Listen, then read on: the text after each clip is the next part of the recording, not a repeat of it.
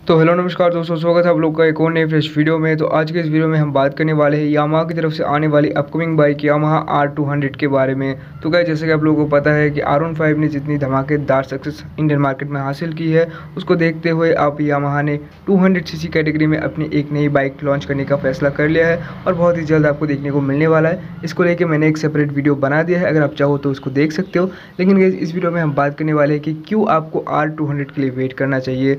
तो कुछ जानने के लिए वीडियो को आखिर तक ज़रूर देखिएगा। अब गैस अगर आप लोग सोच रहे हो कि ये कोई नॉर्मल 200 सीसी की बाइक होने वाली है, जैसे कि आपको आरएस और आरसी देखने को मिलता है, वैसा तो गैस ऐसा बिल्कुल भी नहीं है। इसमें आपको वी टेक्नोलॉजी देखने को मिलने वाला है, जिसकी हेल्प से जो आर है, वो इतनी ज़्यादा पावरफुल है। लगभग वन फिफ्टी की बाइक लगभग वन फिफ्टी पर आर की जो स्पीड है, उसको अचीव कर पाती है और इसमें भी वही टेक्नोलॉजी यूज़ की जाएगी। अब गए जैसे कि आप लोगों को देखने को मिलता है कि 150 सीसी कैटेगरी में आर को टक्कर देने वाला कोई भी नहीं है। 200 या फिर 250 सीसी से ही इसको कंपेयर किया जाता है। तो गाइज़ ये भी ऐसे ही होने वाला है। इसको भी जो 200 सीसी की बाइक से उनके साथ में कंपेयर नहीं किया जाएगा। इसका जो टॉप स्पीड होगा लगभग 170 किलोमीटर पर आर का होने वाला है। 27 पीएस का आपको पावर देखने को मिलेगा। 22 न्यूटन मीटर्स का आपको टॉर्क भी देखने को मिलेगा।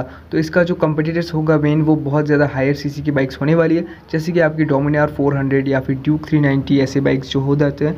तो उनका भी जो स्पीड है टॉप स्पीड वो भी ऐसा ही होता है। तो वही होने वाले उनका जो मेन कंपेटिटर्स होते हैं वो। तो कैसे अगर हम बात करें इसके लुक्स के बारे में तो लुक्स काफ़ी हद तक सिमिलर हो सकते हैं। आर वन फाइव से लेकिन काफ़ी ज़्यादा जो है बल्कि होने वाला है क्योंकि उसमें काफ़ी बड़ा इंजन यूज़ किया जाएगा।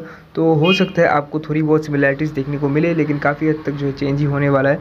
लेकिन कैसे अगर हम बात करें यहाँ पे फीचर्स के बारे में तो वो यहाँ पे भर भर के दिए जाएँगी। फीचर्स में आपको कोई भी कमी देखने को नहीं मिलेगी, और इसके साथ में आपको माइलेज भी अच्छा खासा देखने को मिलेगा as a two hundred bike आपको जितनी नॉर्मल में देखने को मिलती है, उससे आपको यहाँ पे ज़्यादा ही देखने को मिलेगी। लेकिन गए जो यहाँ पे सबसे बड़ी चीज़ होने वाली है, वो है इसका पावर हाँ इस पावर जो है आपको सबसे ज़्यादा इसमें देखने को मिलने वाला है। टू हंड्रेड सी बोल लीजिए। टू हंड्रेड सी की कोई भी बाइक जो इसमें आपको बीट नहीं कर पाएगी।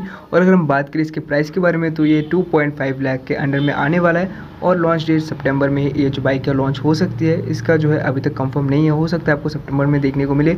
और अगर आपको वीडियो पसंद आए तो वीडियो को लाइक ज़रूर से कर देना। चैनल पर नहीं हो तो चैनल को भी सब्सक्राइब कर लो। हम मिलते हैं आपसे नेक्स्ट वीडियो में। तब तक के लिए गाइस अलविदा।